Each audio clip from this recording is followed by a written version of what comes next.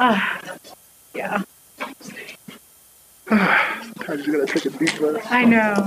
I had to, and I I hate it.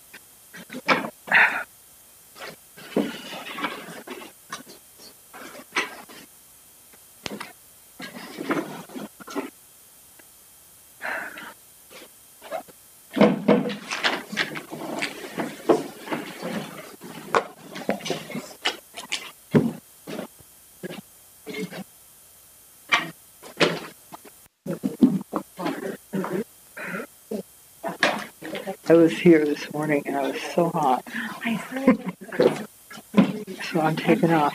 So, so. right, it was so cold. Yeah, I think we're, we're ready to start. Okay. Can you all hear me? Yes. Hi, good afternoon, everyone, uh, and welcome to this panel on teaching as liberating practice. Uh, I'm Malka Simon from the Roberta S. Matthews Center for Teaching and Learning, and we are honored to co-sponsor this afternoon's session together with the School of Education and the Wolfe Institute. Um, I'm very excited to be here in conversation with my wonderful colleagues and the esteemed Barbara Smith. Um, and I want to give a special thank you to Gaston and all the Wolfe Institute staff who have worked so hard to bring us this incredible week of programming. So thank you uh, again to them.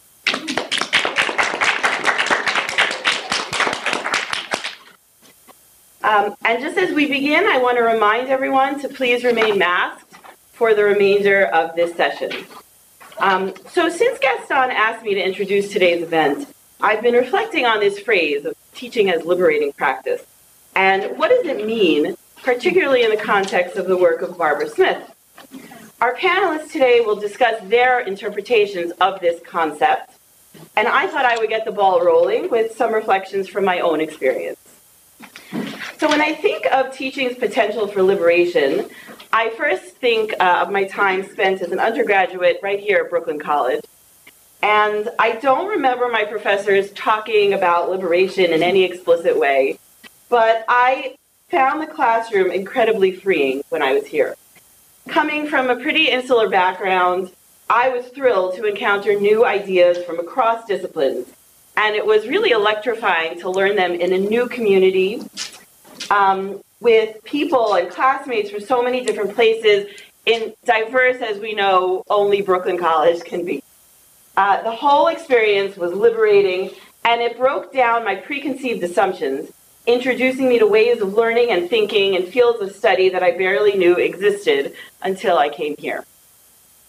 When I came back to campus, it was on the other side of the classroom, uh, much to my surprise. Um, and I was trained in art history. So, unlike my colleagues in the School of Ed, I never was taught how to teach. sort of threw me in. Um, and I, it was something that I learned through trial, trial and a lot of error. And over the years, uh, I've really expanded what I teach and how I teach it. And that process, while it's often been challenging, um, has also been deeply liberating to me. Teaching has really freed me to explore new ideas with my students, pushing me outside what's comfortable and what's familiar as we voice our opinions. And as I make more space for the voices of my students, I'm happy to find myself learning from them, shifting my own work in response to what they've taught me. That's been truly rewarding. Um, when I first came to the classroom, I thought I knew what a teacher was, right? I think we all have this idea what a teacher is. It was an all knowing guide who could show her students the right way uh, to see things. And I think about it now, and I think there was a real fear and a real smallness in that conception. So, like, I was always afraid what if I didn't know something? Or what if I couldn't answer a question? Or what if I lost control? Like, I had to control my classroom, my classroom, right?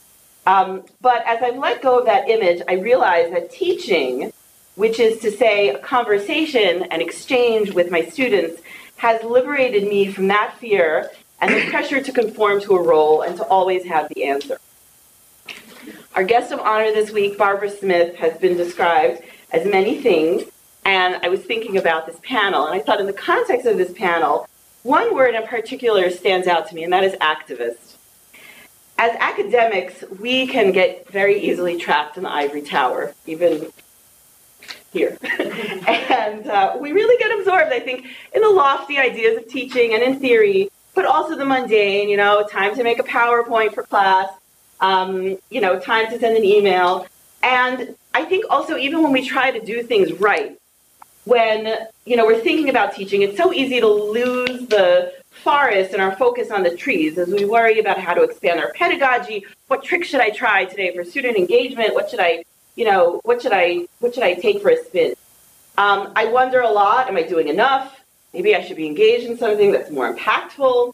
But I think that ultimately there's really no better place for activism than in the classroom because this is to me where the rubber meets the road where we have real conversations happening in our classroom.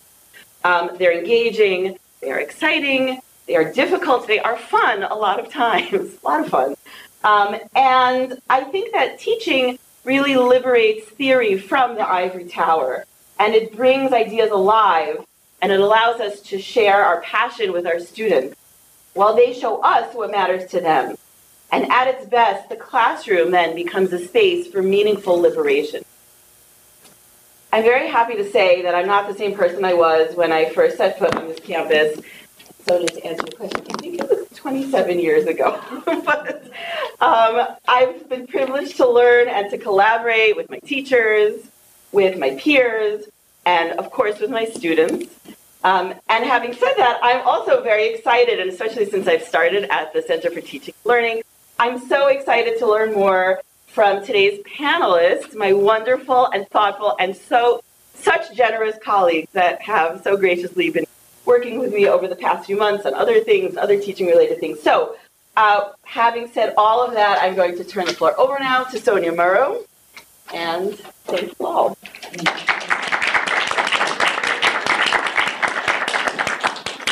Well, everyone, I'm Sonia Murrow. I'm a professor in the School of Education my field is history education. Um, and I'm uh, very pleased to be here today. Um, I want to start out by again um, really giving special thanks to um, uh, Gaston Alonso for his skillful and always compassionate um, and very kind facilitation of this week's programming. Um, the title of our session today is Teaching as Liberating Practice. Liberation pedagogy is anti oppressive. It acknowledges uh, the support and the effort to liberate minds and lives. Liberation pedagogy treats students as co creators of knowledge. By centering student voice and choice, students are liberated to lead their learning and to make meaningful connections to the world. Liberation pedagogy helps develop a critical consciousness in which students are empowered to identify, question, and solve relevant problems in society rather than passively absorb information for no other reason than to be tested. At the heart of this approach is valuing students' culture, students' experience, and their communities. Teaching and learning has the potential to liberate minds and lives, which is what draws our students to our programs in the School of Education at Brooklyn College. It's an honor to be able to serve as the moderator to this esteemed panel. Before we begin, I'd like to remind everyone, um, at the request of today's speaker, that we kindly wear our masks during the length of today's event. Next, I will read a land acknowledgement as Brooklyn College sits on unceded territory stolen from the Canarsie and the Nyack, subgroups of the indigenous Lenape people, in a neighborhood today officially designated as Little Haiti. The original ongoing theft, along with the stolen blood and work of enslaved Africans, facilitates our presence here. We pay our respects to all elders, past, present, and future, including the enslaved, migrants, and immigrants who have stewarded this land. We know that this acknowledgement, is neither sufficient nor complete, but is part of a process of learning to become more thoughtful and respectful. This process would include a deeper incorporation of Indigenous and Native American cultures, philosophies, and peoples into the curriculum, faculty, student body, and staff of Brooklyn College, in line with our mission to provide a transformative, distinctive education to the whole people of New York City. This afternoon, we have four panelists, and we will begin with Barbara Smith. Um, then we will continue with the three other speakers. I will introduce each speaker um, as their time comes to speak, and I'm going to refer you to the program. Um, I'm not going to give extensive um, introductions for each presenter. I'm going to invite you to read uh, the program yourself. And so um, uh, and, and then, of course, at the end of the four presenters, we will open up the floor for your comments and your questions, and we hope to have a, a rich and fulsome discussion. Um, and so, Barbara, we welcome you. Would you like to come up here? I will, Okay, thank you.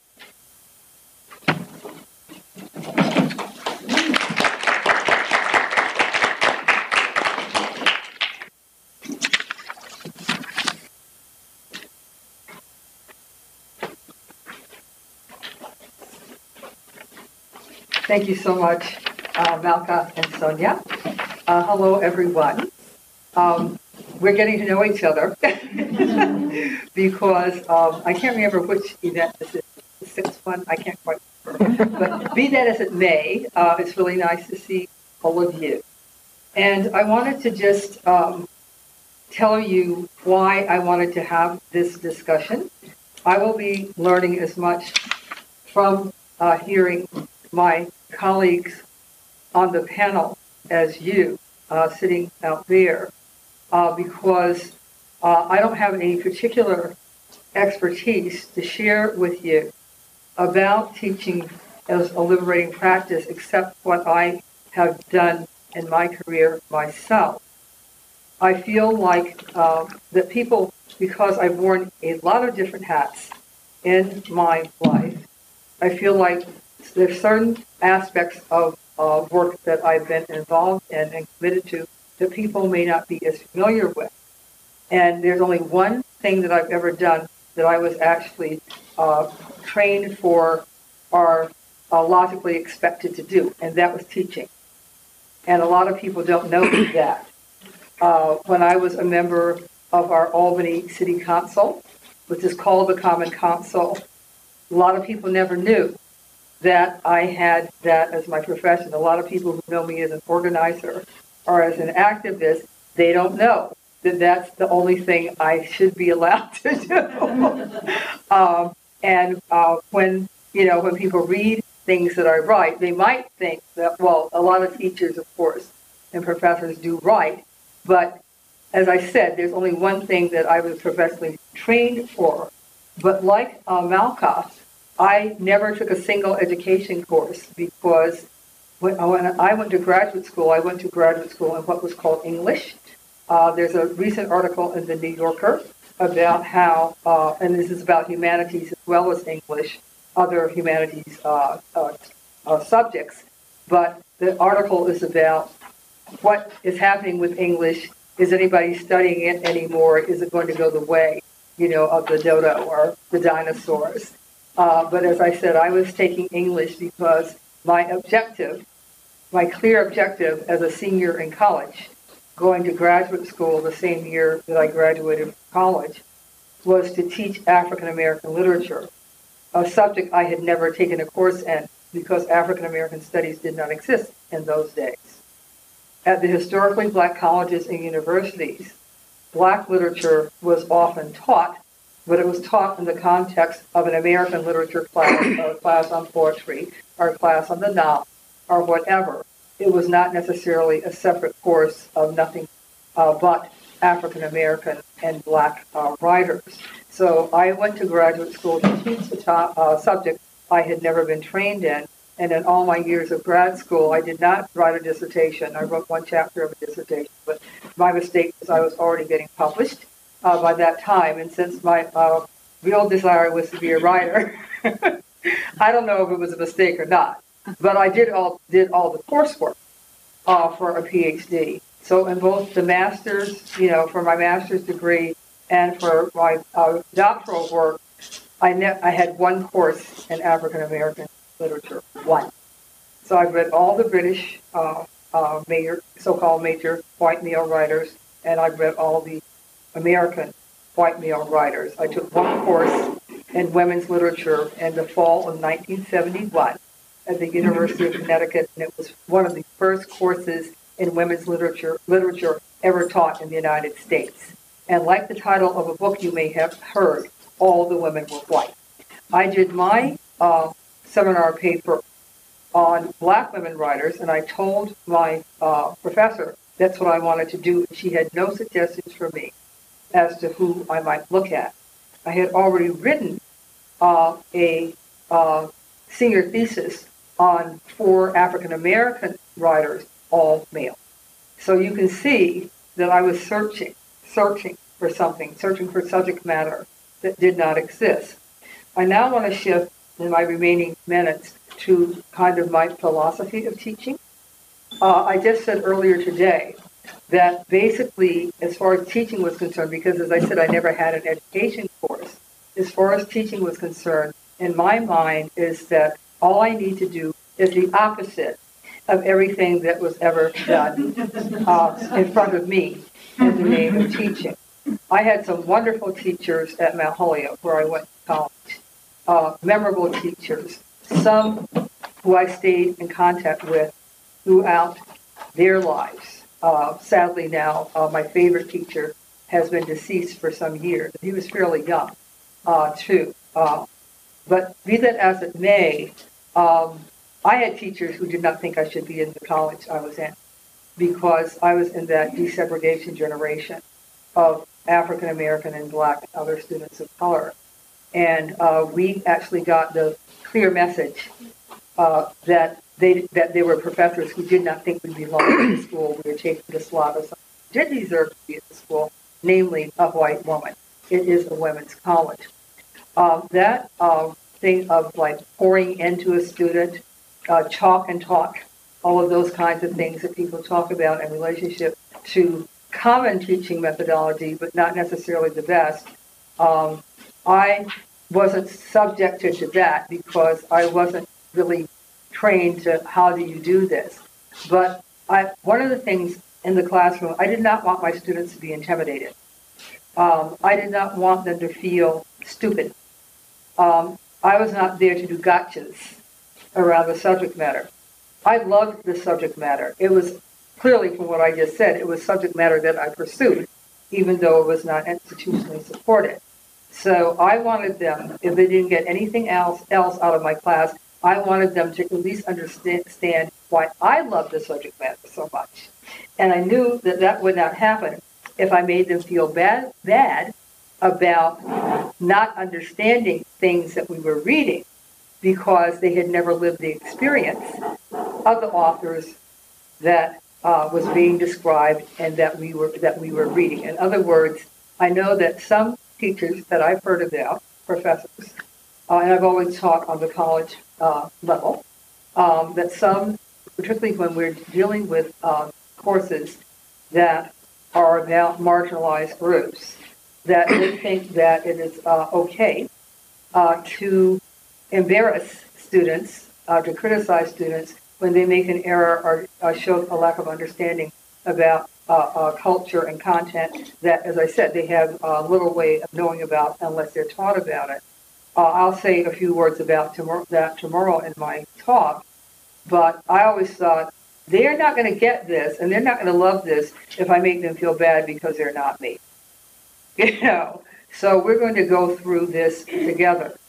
My early teaching experiences with my first classes in African American literature, and particularly in black women writers, were some of the most wonderful experiences I ever had in my life.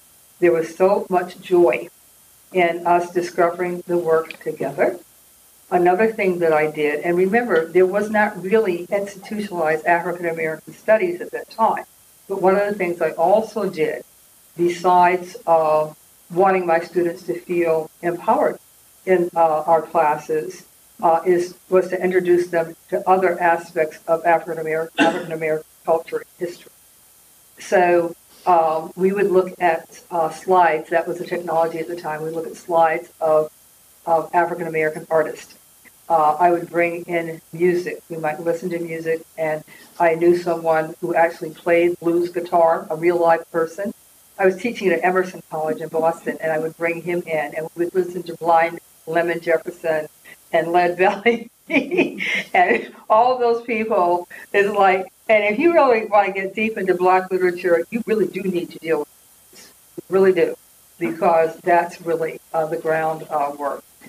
Uh, one last thing I'll say about my philosophy is that I always taught at predominantly white institutions. The level of diversity that you have here and the level of inclusion that you have here at Brooklyn College, I never experienced any place that I taught. But my perspective was that I was in the classroom for every student in the class. So I wasn't about creating armed camps between the students of color and the white students. I didn't, again, I didn't think that was going to serve the subject matter or eventually serve me or them. Um, I had to demonstrate, and this is really hard for somebody who was in their mid 20s at the time and who had never taught before. I felt the need to demonstrate to my students, I'm here for every single one of you, no matter who you are. You can come to me, you can talk to me. I respect you. I, I need and want you to respect me. But we're not going to do like this warfare thing because there's something called white supremacy and racism in the United States. It was a enter, an interesting balancing act, one that I still negotiate on a daily basis. And even though I'm not professionally employed any longer as a teacher and have not been for some years, since the early 2000s, I feel that I teach every day. And as I said, that's what I was trained for. Thank you so much.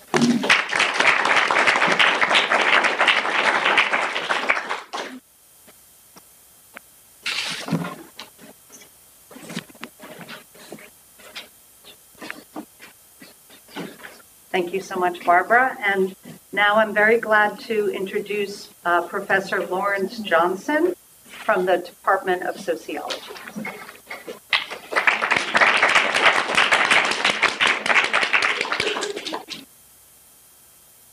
Hello, everybody. Hello.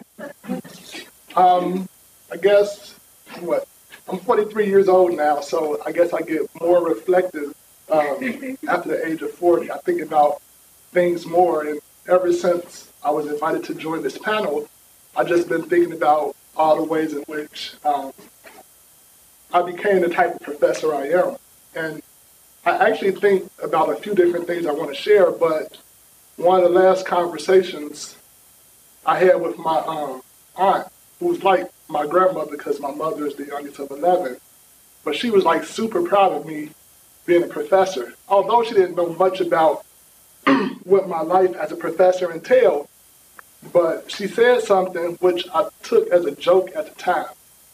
But the more and more I think about it, it was really profound. She said, um, she she was she said, I'm proud of you. And I said, thanks, Auntie, I know. She was like, you don't know. I'm proud of you because I put you there. And I was like, what? And she was like, we raised hell at Eisenhower High School. You know, and I thought about it, but I've been surrounded by people my whole life who started black studies. And there's one thing that was taken as a given. You go to school to demand things that your education is supposed to provide. And black studies is supposed to transform the institution, which is funny because um, I would have never thought coming from Virginia Tech, where um, the student enrollment of black students was like 2%, and then come to Brooklyn College. And back up real quick. The first time I had a black teacher at any level, black male teacher at any level, was in graduate school. So now as a black professor, even coming to Brooklyn College, I'm stunned that I might be the only black male in the classroom. In the college, they claims to be so diverse, right? So that like startles me almost every time I see it, and I'm gonna get used to it. but I think most of us has gotten used to it. So, um, actually, I actually had notes. um, Just keep going. so yeah, I, I had a formal education and informal education that in, that involved Black studies. I'm a trained sociologist, but my education has been Black studies. Um, another example, my next door neighbor. I asked her, "Have you seen Judas and the Black Messiah, a movie that came out a couple years ago that depicts the Black Panthers, Fred Hampton, Chicago?" And she was like, "I don't need to watch it." and almost like my aunt, I was like, why not? She was like, because I'm not in it. And I thought, like, what? And she's like, I'm not in it. These movies often depict, you know, the end of a story when someone dies, but I'm still here, right? So the point I'm getting at is that there's a struggle that started long before even the formal implementation of Black studies. But Brooklyn College does a good job of celebrating diversity without telling stories. And almost everything is rooted in stories and the ones that we're allowed to tell. I want to tell another story because this is the one I shared last week at the People's hearing about racism and repression at CUNY. I had a student, a black male student, circa 2017, and this really, this really had me thinking, and what really propelled my thinking about pedagogy and liberation because I was finishing a bike ride about 60, 70 miles. And I was like so close to home that I didn't want to get on a train, but I was depleted. And I was just looking, I'm seeing the Saratoga stop, three lines, realizing I'm in Brownsville, and I'm just thinking like I could ride two more miles and get home. As I'm contemplating, somebody walks up on me and is like, yo, yo, and my instincts kick in, and I'm like, you know, get back. I don't, I don't do that.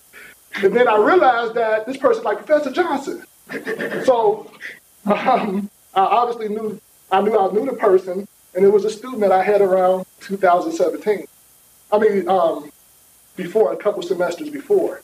Um, that student wasn't particularly memorable. In fact, the only thing I did know was that he was one of the few black males that I had in class that. Um, he never taught. He did his work, and then semester was over. He was gone. Um, but that day, he told me he glad he bumped into me because he was having a conversation, and something I said in class that time actually made him think of me. He wasn't having a conversation with other people in school come to find out, he didn't finish school. But he was having a conversation about reparations in Brownsville with other people that looked like him, and that was a more comfortable place for him to have that conversation. I asked him why didn't he finish, and he was just like, it's one of those, I think I know, but I don't know how to articulate that type of answer. So I was like, why didn't you finish? Why don't you come back? And he was just like, man, Brooklyn College. And he just kind of shrugged it off, right? So I've been thinking about that since like 2017. And It's like, what are the barriers between what we idealize as liberatory practice as professors and what are we up against? We talked for an hour that day about reparations that went somewhere else. And he actually remembered something I had in, I said, I said, I said in class. And he actually said, I thought about you. But what was the barrier? And how much do we have to overcome as faculty members in institutions where certain students don't feel welcome, right? I went to Iowa State. we had an acronym that Iowa stand for Institute of White America. and we brought we brought speakers all the time, and depending on the speaker, it would be standing room only. Thousands of people, mostly students. And one of the things that we've been trying to figure out in the sociology department, we got faculty in sociology who spend great time, energy, and effort to try to make Brooklyn College a place where students understand you don't come here just to take classes and leave. We, we talked about in our sociology liberation project of how do we turn our department into a community. And one thing that students are very consistent about, Brooklyn College does not make it that way for us. I asked students yesterday, are you coming to the talk tomorrow? Why would we come to the talk where our professor don't give us time to actually go, right?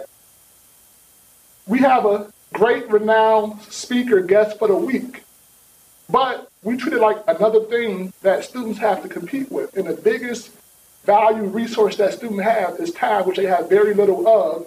And oftentimes we try to get more from them, and then they try to get more from faculty. Do more with less. And it keeps reminding me, what is the obstacle between me and the student? What makes it so difficult to engage them on subjects that I know they're interested in, but they have to get to work, right? They have to get to their other four or five classes, or they lose their scholarship. These are the things that, when we talk about liberatory practice, there's plenty of great faculty here who think about liberation more than the students. The students are thinking about how to survive. How do we teach students whose number one priority, and not being hyperbolic at all, is to survive? In New York, where they got work, family, school, all these different things. We're working on a study right now where the number one thing that students are talking about that they need, the top priority, is not school. It's often money, then family, their mental health.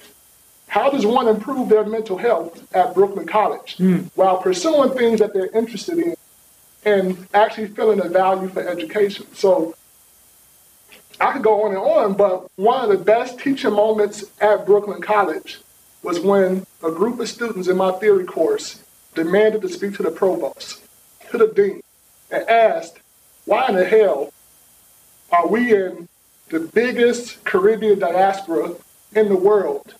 And you're making us choose between four great candidates in a Caribbean Studies program that is underfunded. And of course, the provost came and the students got gaslit and they understood it right away. And I had to spend the rest of the semester talking about college politics and how they don't matter in the long run. That's the obstacle. The student I talked to in Brownsville that day, he understood it. I think most students understand it, which is why this room is not packed. So um, that's my thoughts on liberation sociology. Liberation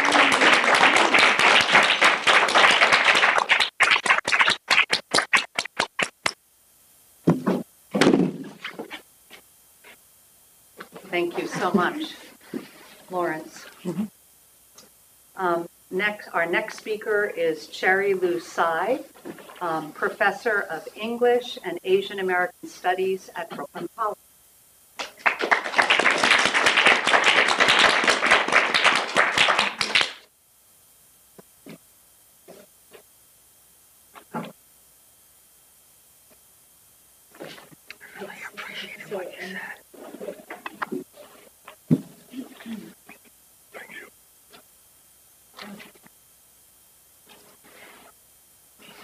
We're going to be showing that in a bit. Um, Lawrence, oh my God. oh. I was getting um, re-triggered as you were talking, actually. Um, yeah, normally I don't have anything when I'm asked to speak at things. I don't have like a speech prepared, but I figured I should because the last time I did this, which is last year, I was crying buckets in, in on stage with the students, and so I said, "Not again." Okay, so this time I wrote I wrote something. Um, but before I go on, I just want to uh, something that I learned from a lot of Indigenous people that I had met and encountered in the last several years is that they introduce themselves. You know, because in our society today, we do not take the time to introduce ourselves. There is an, always an agenda, and it has to be done quickly because that is how we are. Um, raised in this very, very corporate world. So I will say, my name is Cherry Lou Sy. I am a playwright. Sorry, phone. I'm a playwright and a fiction writer. Although now a naturalized citizen of this nation, I still consider myself an immigrant to the Philippines of Chinese and Filipino heritage. Currently, I am an adjunct lecturer in the English and American Studies Department. We do not have an Asian American Studies Department. Like um, the underfunding, there is no funding for Asian American Studies Department, not even although from what I understand, there is a minor kind of coming, but I may not be here when that happens. Anyway, um, but on top of that, I am also an alum of the MA English and MFA playwriting programs at Brooklyn College. So I was once a student, like a lot of you here. Um, but on top of that, and sometimes I am embarrassed to admit this, I am a college assistant at the scholarship office, a position that I have yet to relinquish since my grad school days. As you can see, I wear many hats in this school out of necessity. So the first thing I'm going to do, actually, um, I had encountered this video recently, and I just I want everybody to see this, okay? And I'll explain the context later. Oh, good God. Oh, God.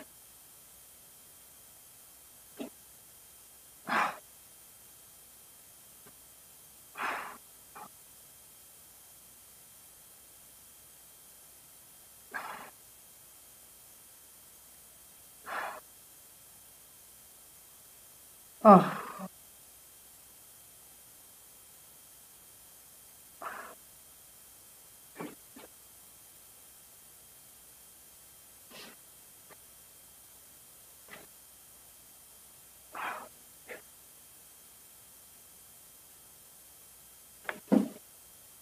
This film, otherwise known, sorry, um, These are China again. You- YouTube is doing its thing. Um, this film, otherwise known as film number 1274, was commissioned by the French government to be shown at the 1900 Paris Exposition. It was shot by Gabriel Veyre sometime between April 1899 and March 1900 in the country that was known as French Indochina in the Annam Protectorate. Um, we now know this country as Vietnam. Uh, in this short clip, we see two uh, white French women, the wife and daughter of Governor General Paul Doumer, throwing coins in front of children. When I first saw this film last year, um, I had a visceral reaction. I mean, we, we heard Barbara having a visceral reaction too. I, I was actually, um, I can't tell you just how visceral my reaction was. Even now, when I see it, I, it's there. Um, it was like watching women throw food at pigeons, something I see all the time in New York City. There's a story here that I was experiencing. It wasn't just anonymous children these women were throwing coins at. These children look like people I know. Shoot, I'm gonna cry again. okay, sorry. I'm, I'm, gonna, I'm, I'm trying not to. Um, these children look like people I know. They look like versions of my father, my grandmother, my mother, my family, my friends.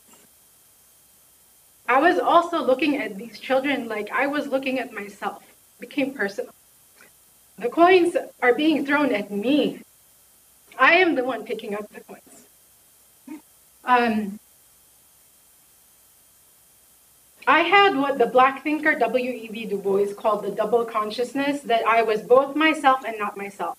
I saw myself as myself, but also how others, under the lens of colonialism and white supremacy, view people like me an object or a recipient of pity at best because people seem to not be able to tell the difference between a truth and a lie. And what is the difference? I don't know. Um, is the truth objective? Is the truth printed in books? Academics would usually say yes, but to me, as an artist, as a writer, I've come to discover that truth is plastic. In other words, it is also known to me as fiction.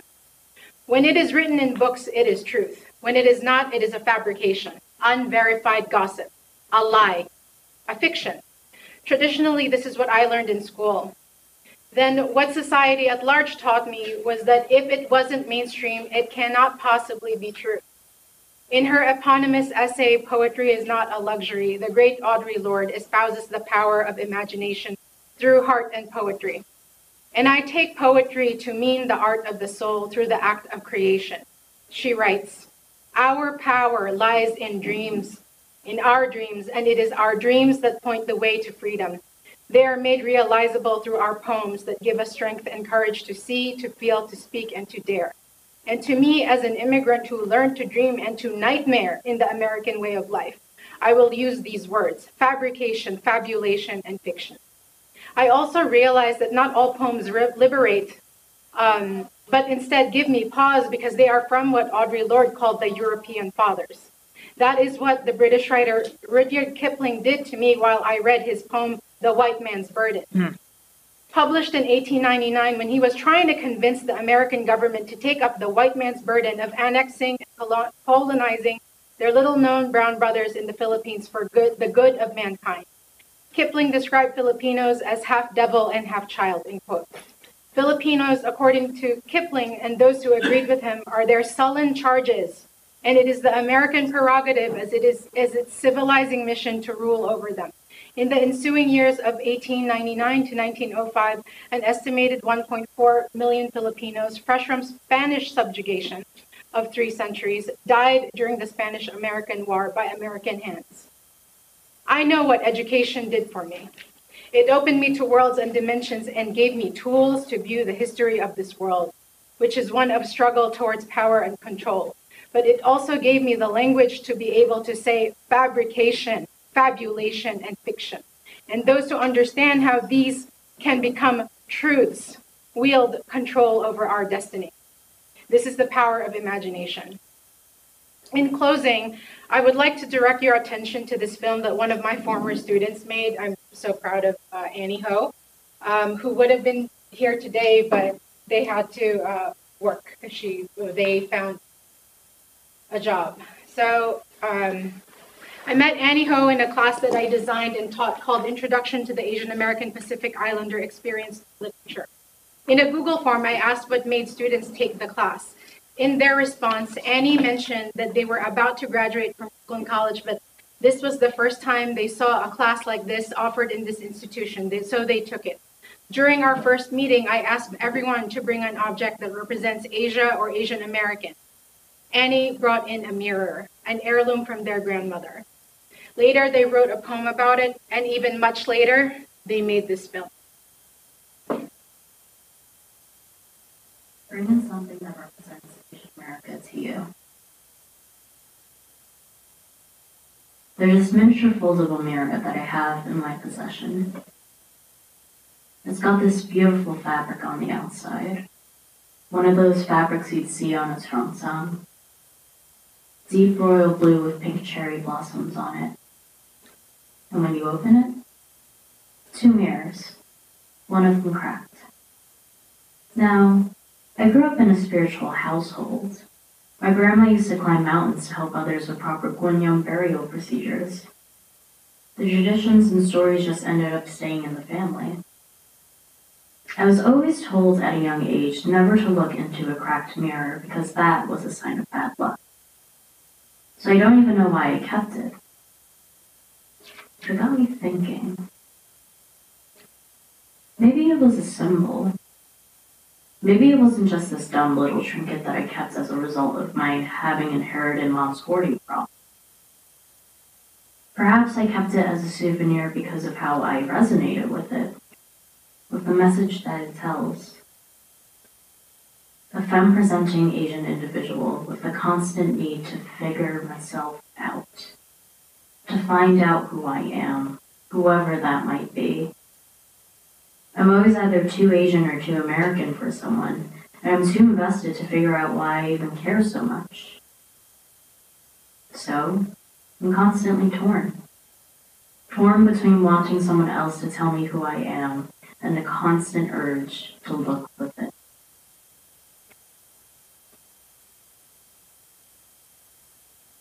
Nine bullets punctured the nine bodies in Atlanta until six hit too close to home. Forced to look within, I dragged myself together, whatever pieces I had left.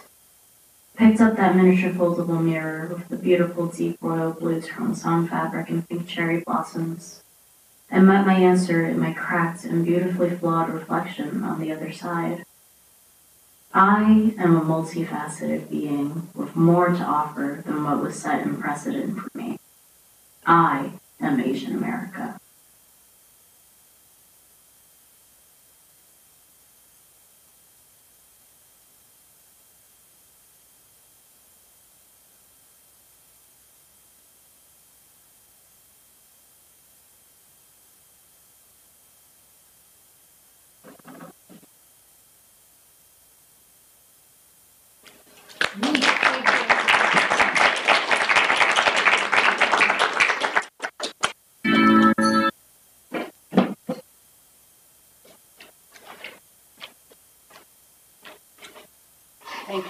Much, Cherry Lou.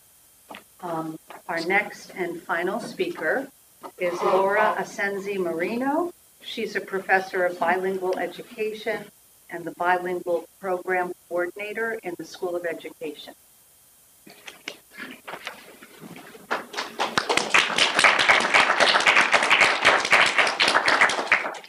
Wow, I, I, that was incredible. That was absolutely incredible.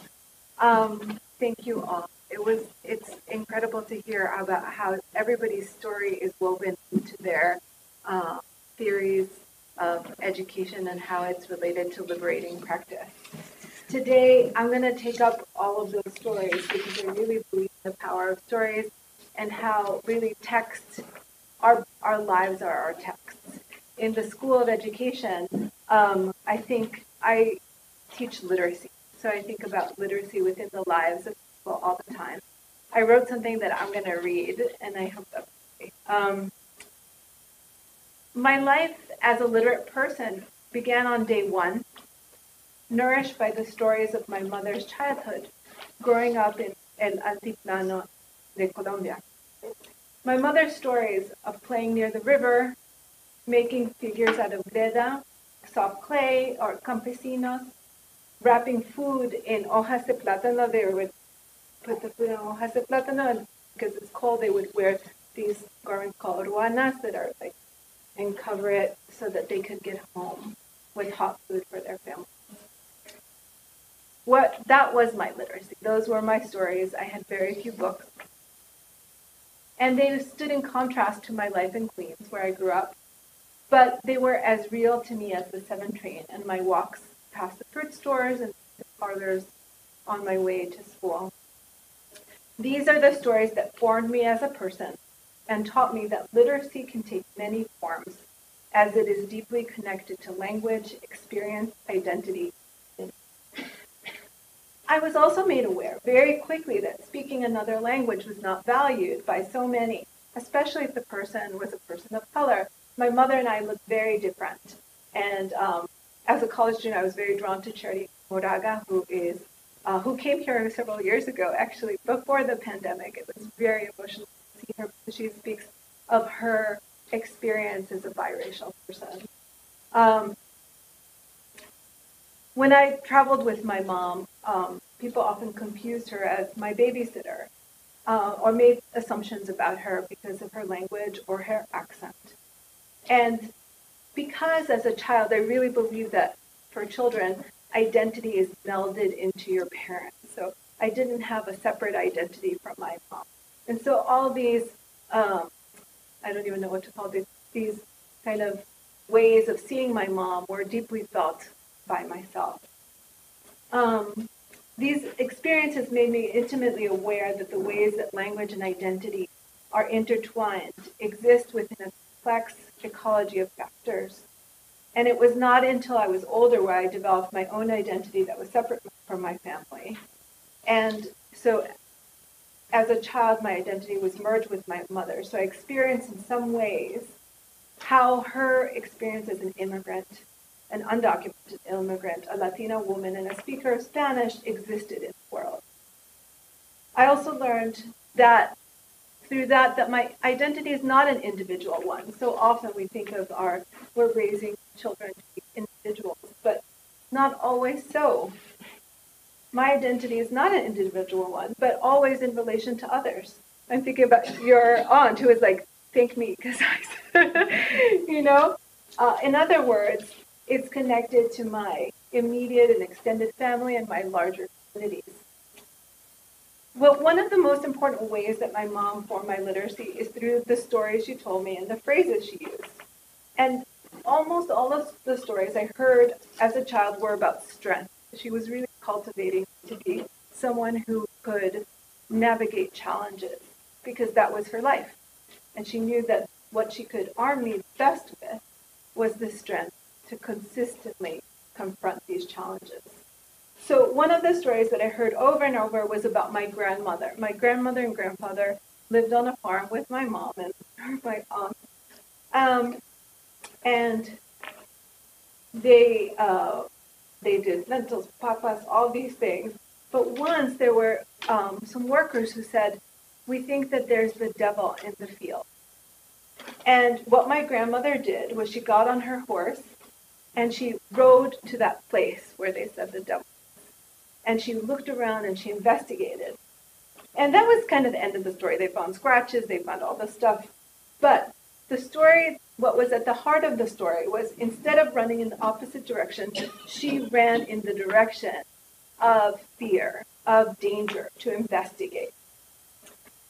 Um, along with these stories, I always heard teachers like my one that my mom always continues to say to me, um, and I'm so lucky to have her always with me, is cuando te caes te levantas dos veces, or in English, when you fall you get up twice. And the meaning behind the saying for me is that you get up stronger, that you're commu- co- you're always transformed by hardships and the challenges that are in front of you in essence, what my mom was teaching me was about continual transformation. Sorry, I get emotional when I think about my mom. She's still alive. She's, but um, there's just a very powerful relationship about what is what is transmitted between us. I learned that her stories were about continual transformation that started before me with my grandmother and other women, and that will continue after. So I thought about how do these stories, uh, how did these stories impact me as a Latina woman and a professor of bilingual education? First, that these stories are not only important to my professional trajectory, but as an intellectual endeavor, and not as a cultural curio, not as like, oh, this is really nice. And um, some of us were involved in a book study with Barbara, your work, and um, and we read Cherríe Moraga as well, and we talked about theories of the flesh, and that these personal stories are not just things that are uh, exist on the intellectual level, but really exist in our bodies.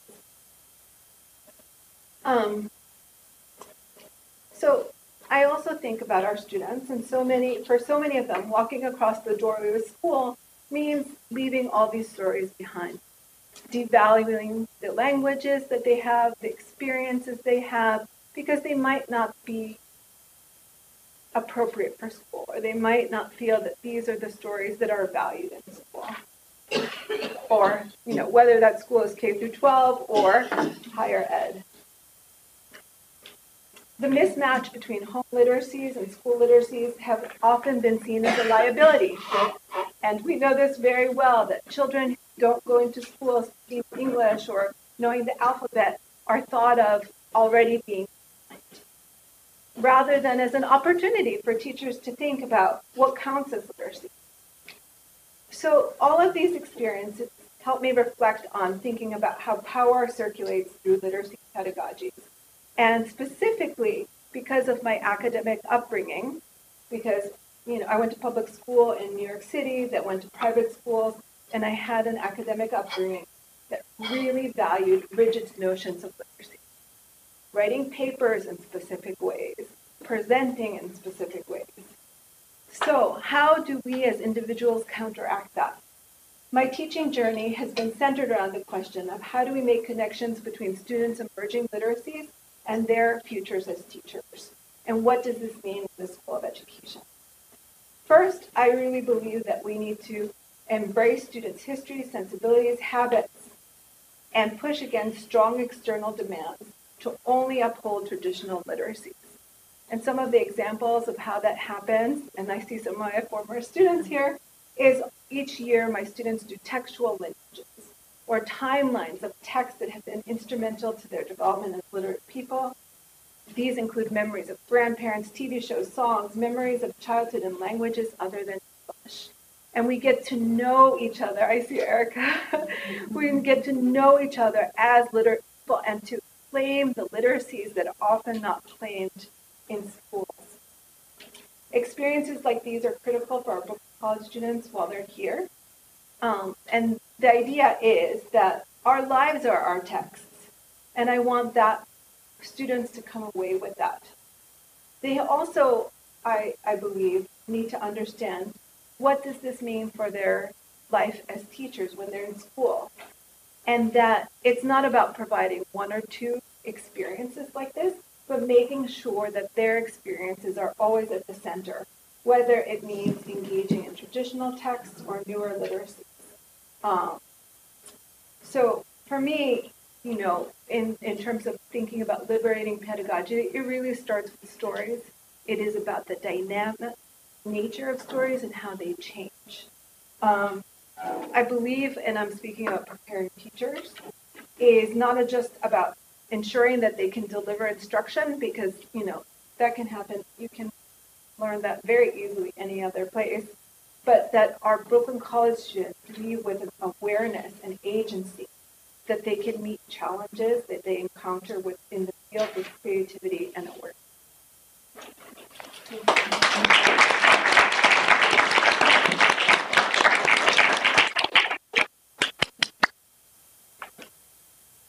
Thank you so much, Laura.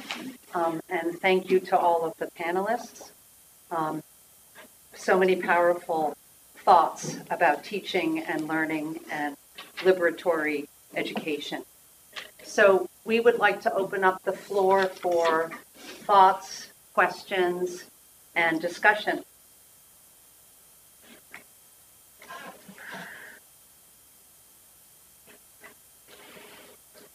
Hi. I just, I just, it's just a comment. I just. You want to use the mic? Yeah, yeah, sorry. It's just a comment. And if you want to identify Sorry, yourself. I'm, yes, sorry. Right. I'm Hi. Nancy. I'm a professor of history. I study medieval history. Um, but I'm just overwhelmed. I've been, I've been a student at lots of institutions. I'm just overwhelmed by how much I want you all to be my professor Mm-hmm. and how I feel like I've never had such an honest conversation about education. I'm, you know, really, really, so that's all. Thank you.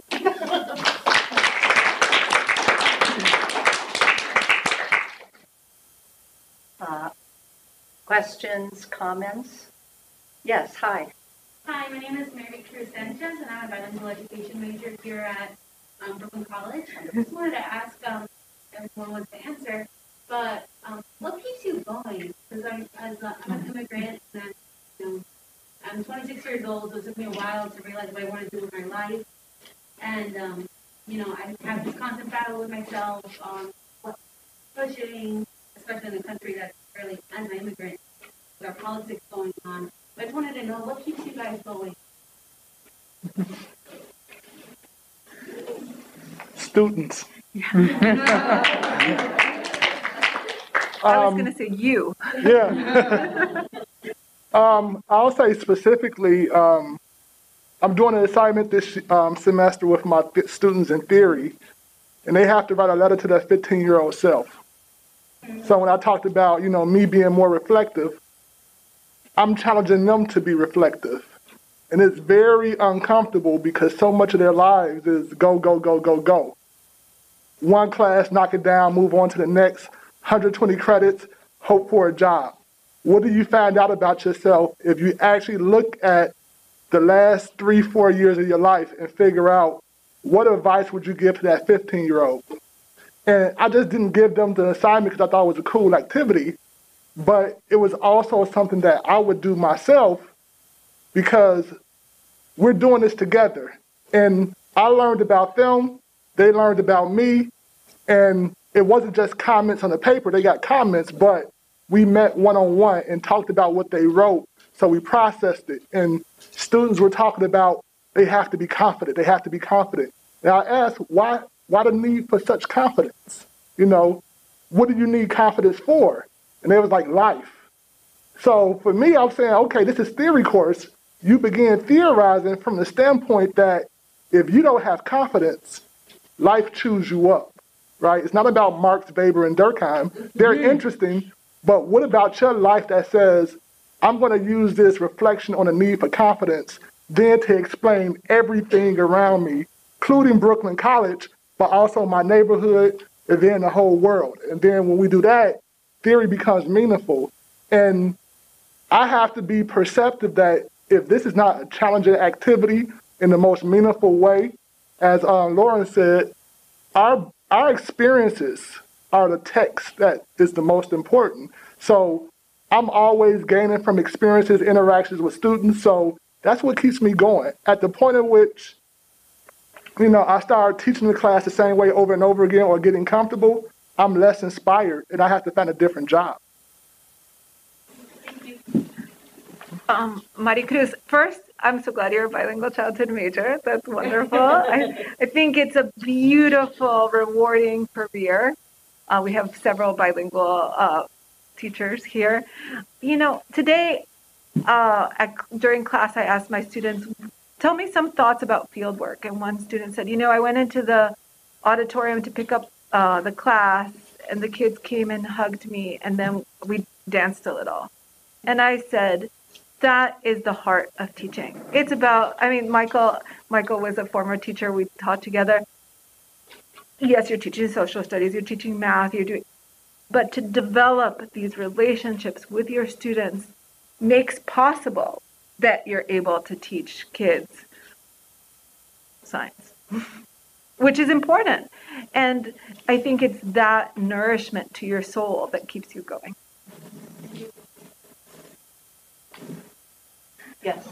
Hi. Do you want to talk? Oh, Why don't you go ahead and then I'll say something. Sorry. no, please, go ahead. Um, I, I'll just elaborate a little bit on the student part. So I agree, but also it's a purely selfish reason for me because I feel like I'm still a student. I'm still learning. You know, it doesn't end. There are times um, when I feel hopeless, and then and then when I'm in a classroom, I see other students and I see myself. You know, I mean, I it's hard to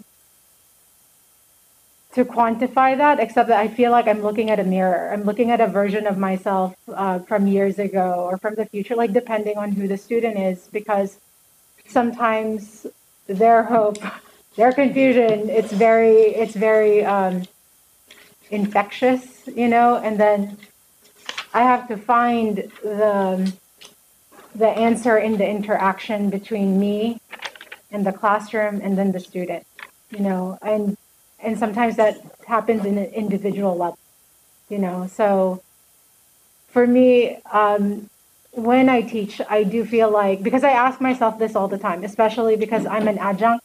You know, I don't know if everybody knows what that means, but that means I'm a part timer.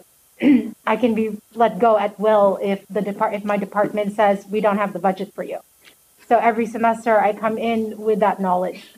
Uh, that's why I'm still a college assistant at the scholarship office. If you've ever written a letter to the scholarship office, I have probably seen and answered it. So um, yeah, it, it's. Uh, I ask myself this question frequently: Why do I teach when, if in terms of reward, you know, financially, I I don't get that.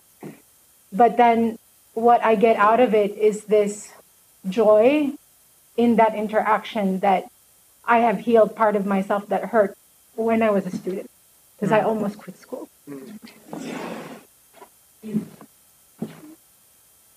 We have about uh, five minutes. Yes, please. Uh, uh, hi, my name is Cardo Larry. I am a film major student here. Um, so for credit, I was born a bilingual, uh, for bilingual child, so I'm taking a course um, to finish my graduation. Um, I grew up as a bilingual child. I grew up in a very um, political family. Uh, my family, we are refugees from Chile um, from uh, the 70s. And I always grew up with a family that was very, like, outgoing. I remember my grandfather started a hunger strike to get a high school in uh, Little Village, Mondo, in Little Village, uh, in Chicago. And most recently, uh, the family were very connected to Chile, and we had an event where a bunch of high schoolers who started the revolution in Chile in 2015 came and they were talking. And there was, the intent was to have like a community feel between high schoolers in Chile and some of the students here in New York. And there were some, uh, some teachers that my uncle was with who are teachers here in Harvard. And in particular, there was a lot of problems they were talking about, institutional problems that the DOE was purposely forcing them. And not, like we're talking about access, um, she has been petitioning for about a month just to get there for the MTA, just to get all the students to be able to go to that event. Um, and there were a lot of other problems that they were talking about, um, like physical abuse that the students are dealing with in those schools. And there is zero accountability at all at an institutional level. So I guess this is more of an open-ended question, but in my mind, with my background, I instantly think organize, get a student movement, strike, get something going, get your local media on. But I was trained that way, like talking with my grandparents. Ever since I was, like, ever since I learned to speak, I would go to my mom and say, Mom, ball, and then go to my dad and say, pelota. Um, that was just kind of the way my parents never really allowed me to not think. The biggest criticism I would ever say is, why are you not thinking? What is your mental process going through? And my question is, I guess the biggest challenge for me when I go to an institutional form of education is that a lot of other students that are my, that I am in class with, they do not have the same kind of understanding of that context that they are surrounded. Not that it's their problem, but it's for those students who may not understand the impact that they're living in at that point. What kind of circles or kind of social engagement would you recommend that we start as like just kind of creating that open space? Thanks. Sorry. I would like to respond to that. Please. Uh, When the first uh, person asked about how do you keep going, I see these two questions as connected in my mind. Uh, When you asked that question, I immediately thought of what you said, which is you organize. You know, you look at the, whatever the problem is, and of course we always know that very easily because we suffer from the problems that uh, systemic exploitation and oppressions cause. So I wasn't thinking about how do you keep going as a teacher because I haven't taught for so long. It's not my primary identity in my mind at this point, but I did want to talk about it here. And all I could think was, well, the way you keep going is because you're in struggle with other people who are concerned about the same thing. And you find uh, people who believe and have that vision that you have you can't do it by yourself. As I said earlier today in another of our works, uh, our, our conversations, you can't do social justice as an individual by yourself. There's no way to achieve achieve social, economic, racial, political, gender, etc. justice. But let's just say justice. You can't do it by yourself because it's not uh, susceptible to any individual interventions. So, you know, being a child of the 1960s and being uh, a person of African heritage living in the United States, I saw it for myself that uh, people coming together who were considered to be absolutely of no value, and that would be people of African heritage in the Jim Crow uh, era uh, and before, and actually transformed some things in the United States around the most extreme examples of uh, uh, racial exploitation and uh, segregation and oppression. Um, you talked about how uh, you know that's your perspective because of how you were raised, and we're in a situation now. It's a crisis. It's interesting that it hasn't come up this afternoon. That we're in a crisis in the United States about what people are allowed to teach, what's valuable to teach, who's supposed to be comfortable in classrooms and who's supposed to be protected in classrooms so they never have to hear about the truth uh, of the country in which they indeed dwell. That's what the right wing is about. You know, they don't care about children of color, uh, working class kids, poor kids, tra- uh, definitely don't care about trans kids. The very idea that a whole segment of us, the stu- uh, students and young people in this country, are under attack from adults uh, and everybody seems to be fine with that, except for those of us who feel the attack. But the thing is that um, th- they only care about a certain segment of kids not being upset in a classroom, and that's white privileged children. Uh, you know, please don't tell them about you know settler colonialism, white supremacy, you know, uh, and you know like genocide et cetera. No, they can't handle that. Now, nobody cared about that, you know, when I was getting my education. It's like, who cares? We don't care about you. That poem about the, the white man's burden, I read that damn poem, you know, because I've read all, the- as I said, I've read all the British, you know, and all the, all the Americans, you know, horrifying, horrifying. Um, but we're at a really a break point. Anybody who's actively involved involved in anything called education at this uh, historical moment, we have our work cut out for us. And I think that there's a combination of creating situations in which we are able to function and keep faith with each other because we're not dwelling every 20, 24 hours a day, seven days a week in a state of misery and then also that we realize that we have rights and that we have a right to the quality of education as well as the quality of life that we all deserve. But that's how I see things. I always think the solution is a struggle and also if it doesn't exist, make it. If there was no such thing as black women's studies, then do the damn book, get the book out, and then people have to grapple with that. People would laugh at me when I talked about black women's studies. Black women would laugh at me or question me. There's no such thing as black women's studies, they would say. I said, I, I know, I know, but the thing is, we can create it, you know. So that's kind of my ornery attitude. Good questions. And I had to say, I loved this panel. Yeah. I love being on this panel. So this is, this is a wonderful place um, to wrap up, even though I know we all wish we had more time. I wish you all had more time even to present. Um, I'd like to do two things as we're wrapping up. First, I'd like to remind you that um, tomorrow there are two Hess events. Um, There's one at 11 o'clock in the morning. It's called Working for Liberation and Having a Damn Good Time. Um, Then there's the Robert L. Hess Memorial Lecture.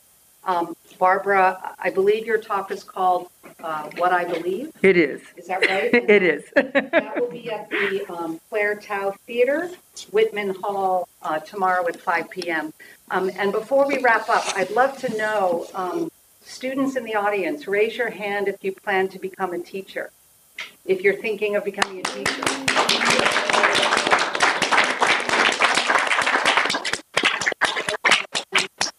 And again, just thank you all so much. What a wonderful, really powerful panel. Uh, we have so much food for thought. We have so much work to do.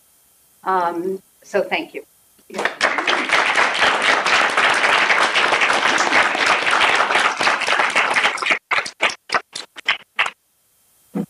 Oh, you're so very welcome. I know you're like, sounds like a